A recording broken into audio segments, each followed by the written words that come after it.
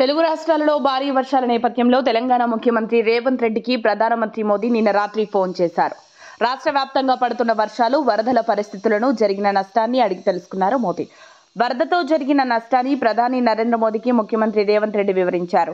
ఈ పరిస్థితుల్లో ప్రజలకు ఇబ్బంది కలగకుండా ప్రాణ నష్టం జరగకుండా తెలంగాణ రాష్ట్ర ప్రభుత్వం చేపట్టిన సహాయక చర్యలను ముఖ్యమంత్రి రేవంత్ వివరించారు. ఖమ్మం జిల్లాలో ఎక్కువ నష్టం సంభవించిందని పీఎం మోదీకి తెలిపారు సీఎం.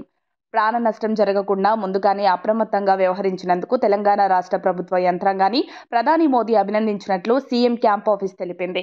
కేంద్రం తరపున ప్రతికూల వాతావరణ పరిస్థితుల్లో కూడా సేవలు అందించే హెలికాప్టర్లను పంపిస్తామని ప్రధాని మోదీ సీఎంకు మాటిచ్చారు. కేంద్ర ప్రభుత్వం నుంచి అవసరమైన సహాయక సహకారాలు తప్పకుండా అందిస్తామన్నారు ప్రధాని.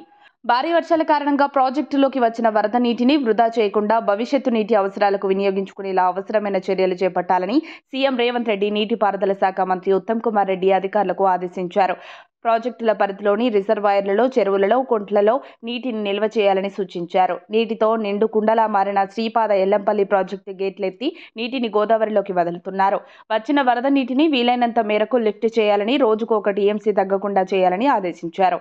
అలాగే గాయత్రి నంది పంప్ హౌస్ల ద్వారా నీటిని లిఫ్ట్ చేసి రిజర్వాయర్లు వింపాలని మిడ్ మానేరు లోయర్ మానేరు డ్యాంతో పాటు రంగనాయక సాగర్ మల్లన్న సాగర్ వరకు జలాశయాల్లోకి ఏకదాటిగా నీటిని లిఫ్ట్ చేయాలని సీఎం రేవంత్ ఆదేశించారు. Kadem project mid Maneru project lower Maneru dam Annapurna reservoir ద్వారా రంగనాయక సాగర్కు నీటిని తరలిస్తున్నారు. రంగనాయక సాగర్ నుంచి నీటిని పంప్ చేసి మల్లన్న సాగర్ కొండపోచమ్మ సాగర్ నింపి అక్కడి నుంచి సింగూర్ ప్రాజెక్ట్ నిజాం సాగర్ ప్రాజెక్టు వరకు నీటిని తరలించాలని సీఎం రేవంత్ రెడ్డి ఆదేశించారు.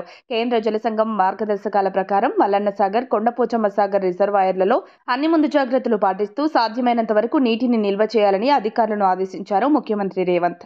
మరిన్ని అప్డేట్స్ కోసం మా కాయ్ టీవీని సబ్స్క్రైబ్ చేసుకోండి. మా వీడియో కనుక మీకు నచ్చినట్లయితే లైక్ చేయండి షేర్ చేయండి. మీ విలువైన అభిప్రాయాలను కామెంట్ బాక్స్లో తెలియజేయండి.